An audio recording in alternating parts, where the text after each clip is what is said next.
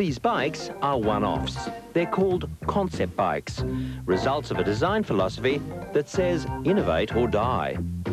If you slow down, you're off the back, as they say in racing, you know, that somebody else gets a jump on you. And every year is a new year. You can't roll into another year uh, using last year's product. So everything has to be new each year. You know, uh, the customers demand it. Whilst they let their imaginations run wild, they do have some practical uses. This is one of the first concept bikes.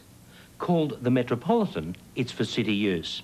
It has a built-in stand, quick release wheel and seat, and a retractable lock and chain to deter thieves. Specialized is a company built around the mountain bike boom. This is Synergy, ridden by its designer, Robert Egger.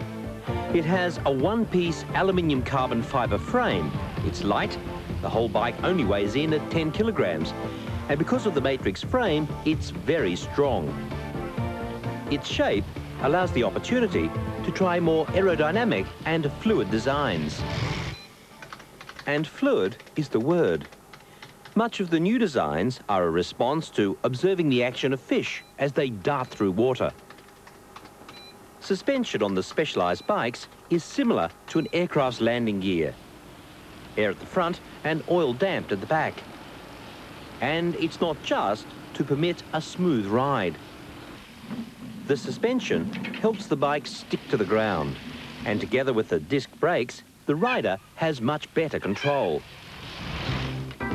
The carbon monoframe has also been incorporated in this racing track bike called the Tandemonium. It looks fast just sitting there. Funny, they wouldn't let me ride it. Whoa! Gearing a bike to help it scale hills and dales has always been a problem. The team here is designing a system that works well in snowmobiles. It's called CVT. The conventional derailleur system has been around since the 1920s. It works by manually moving the chain from cog to cog. The CVT, or continuously variable transmission, will be more like an automatic transmission in a car, changing gears depending on your pedal speed. CVT, disc brakes and composite frames. As far as futuristic bikes go, it's all action.